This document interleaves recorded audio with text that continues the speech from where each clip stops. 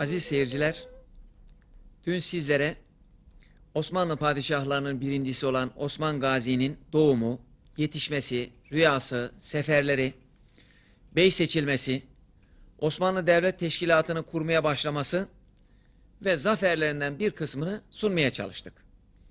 Bugün de aynı konuya devam edeceğiz. Osman Gazi'nin topraklarını devamlı genişletmesi Bizansları telaşa düşürdü. Kayser, İlhanlar ile akrabalık kurarak Osmanlı taarruzlarından kurtulmak istedi ve kızı Maria'yı İlhanlı hükümdarı Gazan Han'a nişanladı. Onun ölümüyle de Olcayto Han'a nişanlayıp Osmanlı hakimiyetindeki arazilerin geri alınmasını ümit etti. Osman Gazi, Bizans Kayseri'nin ittifak arayışı sırasında da gazalarını sürdürdü.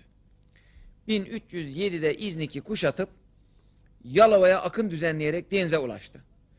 1308'de Marmara Denizi'ndeki İmralı Adası fethedilip deniz üssüne sahip olundu. Bizans'ın Bursa ile deniz ulaşımı ve irtibatı kontrol altına alındı. İznik civarındaki Koçhisar fethedildi. Osman Gazi'nin Bizans hududunda tesis ettiği adil idare tekfurların zulmünden, vergilerin ağırlığından bıkan Hristiyan ahaliden başka Rum kumandanlarının da takdirini kazandı. Rumlar Osman Gazi'nin idaresine geçmeye başladılar. Nitekim 1313'te Harmankaya Tekfuru Köse Mihal Osman Gazi'nin maiyetine girip Müslüman oldu. Köse Mihal Gazi adını alarak muharebelere katıldı ve pek çok hizmeti geçti. Marmara sahilinden Karadeniz istikametine akınlara devam eden Osmanlılar 1313'te Akhisar, Geyve, Lüblüce, Lefke yahut Osmaneli, Hisarcık, Tekfurpınarı, Yenikale, Karagöz ve Yanıkçehisar kalelerini fethettiler. Bursa Osmanlı arazisi ortasında kalınca şehir ablukaya alınıp Kaplıca ve Uludağ istikametinde iki kale yapıldı. Kaplıca istikametindekinin kumandanlığına Osman Gazi'nin yeğenlerinden Aktimur, Uludağ tarafındakine de Balaban tayin edilip kalelere kumandanlarının isimleri verildi. Bizans'a karşı devam eden seferler sırasında Moğol istilasından Batı Anadolu'ya gelip Kütahya'ya yerleşen Çavdarlı aşiretinin Osmanlı'ya düşmanca hareketleri Osman Gazi'nin oğlu Orhan Gazi tarafından durduruldu. Oymahisar'da yapılan muharebede Çavdaroğlu esir edilip aşiretin saldırganları cezalandırıldı. 1317 yılında Orhan Gazi ve kumandanlarından Konur Alp, Sakarya ve Karadeniz istikametindeki Karatekin, Ebesuyu, Karacebeş, Tuzpazarı, Kapucuk ve Keresteci kalelerini fethedip bu mevkileri Osmanlı hakimiyetine aldılar. Akçakoca, Sakarya Nehri'nin batısında İznik Kalesi'ne kadar olan mevkiyi fethetti. Buralara onun adına izafeten Koca Eli denildi. Osman Gazi'nin gençliğinden beri Rum ve düşman tecavüzlerine karşı askeri hazırlığı ve mücadelesi, devlet kurarken idari ve siyasi faaliyetleri onu 60 yaşından itibaren iyice yormaya başladı. Nikris, romatizma hastalığından da muzdaripti. Gaza akınlarında yetişip yiğitliği, cesareti, bilgisi ve İslam dinine sadakatiyle düşmanlarını korkutan, Müslümanların takdirini kazanan oğlunun idare tarzını sağlığında görebilmek için son yıllardaki fetih hareketlerinde siyasi hadiselerde Orhan Gazi'yi vazifelendirdi. Osman Gazi, oğlu Orhan'ı 1321'de Mudanya, Kara Timurtaş Bey'i de Gemlik seferine gönderdi. Mudanya'nın fethiyle Bursa'nın ablukası daha da kuvvetlendirildi. 18 ay devam ile Osmanlı akınında Bizans topraklarından pek çok ganimet alındı. Bizans iktisadi buhrana uğratıldı.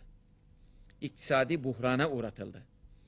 Akınlara devam edilerek 1323'te Akyazı, Ayanköy, 1324'te Karamürsel, 1325'te Orhaneli denilen Atranos fethedildi. Ayrıca Bolu, Kandıra, Ermeni Pazarı ve Devehisar'ı ele geçirildi. Fethedilen bölgelerin tamamı imar olunarak sahipsiz evler gazilere dağıtıldı. Osmanlı teşkilat ve müesseseleri kuruldu. Hristiyan ahaliden Osmanlı ülkesinde oturanlara İslam dininin gayrimüslimlerle alakalı hukuku tatbik edilerek onlar vergilendirildi. Uzun kuşatma ve abluka neticesinde Bursa 1326'da teslim olmak mecburiyetinde kaldı. Osman Gazi'nin hastalığı Bursa'nın fethinden sonra arttı. Hocası Şeyh Edebali Hazretlerinin ve arkasından hanımının vefatı ile hastalığı daha da şiddetlendi. Vefat edeceği zaman oğlu Orhan Bey'e yaptığı vasiyetnamesi Osman Gazi'nin İslamiyet olan sevgi ve saygısını Türk milletinin rahat ve huzurunu ne kadar çok düşündüğünü ve insan haklarına olan gönülden bağlılığını açıkça göstermektedir. Şimdi Osman Gazi'nin vasiyetnamesinin orijinalini okumayacağız. Fakat vasiyetnamenin özü şöyledir. Allahü Teala'nın emirlerine muhalif bir iş işlemeyesin. Bilmediğini din alimlerinden, İslam alimlerinden sorup anlayasın.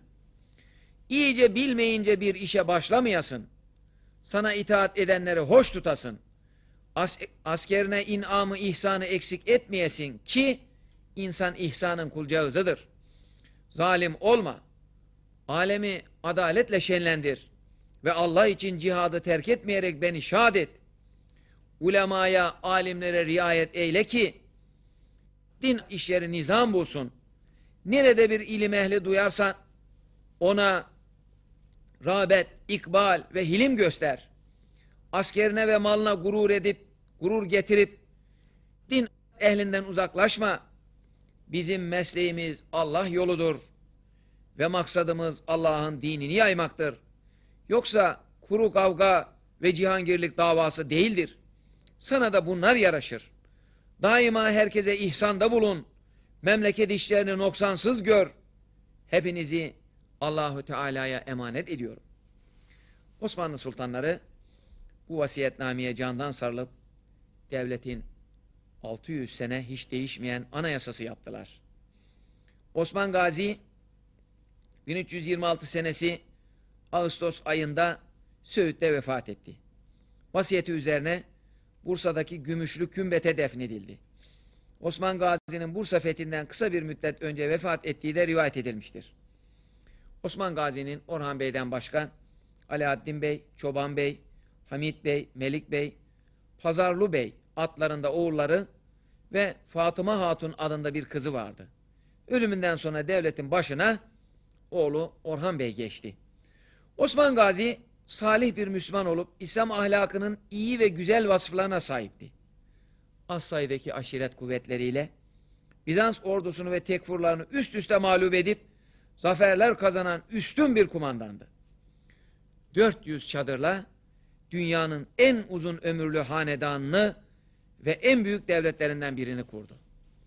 Osman Gazi kurduğu hanedanla üç kıta yedi iklimde her çeşit ırk, din, dil, mezhep, fikir, kültür ve medeniyetteki insanı bünyesinde Osmanlı adı altında toplayan Kur'an-ı Kerim, hadisi şerif ve İslam alimlerince öğütlenen manevi hizmetlerin mirasçısı ve idarecilik vasfının 14. asırdan 20. asra kadar nesilden nesile intikalcisidir. Osmanlı Devleti dini meselelerini kuruluşundan itibaren Hanefi mezhebi hükümlerince kaza merkezlerine, şehirlere tayin edilen kadılar vasıtasıyla gördü. Osman Gazi zamanında askeri teşkilat aşiret kuvvetlerine dayanıyordu.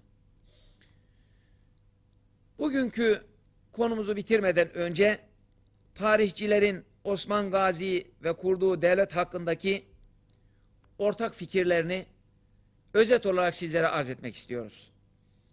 Türk ve İslam tarihinin en muhteşem devri Osmanlıların eseridir.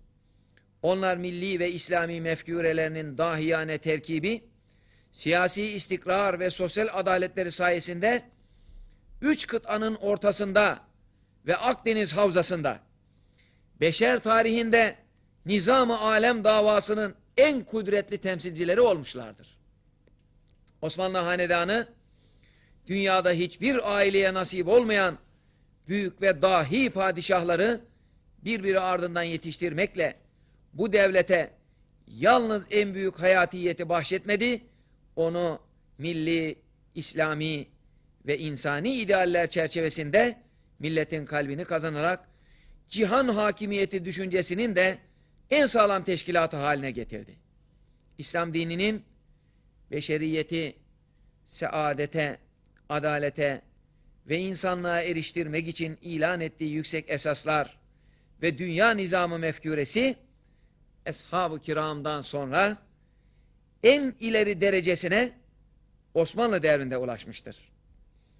İnşallah yarın da aynı konuya devam ümidiyle. Hoşçakalın efendim.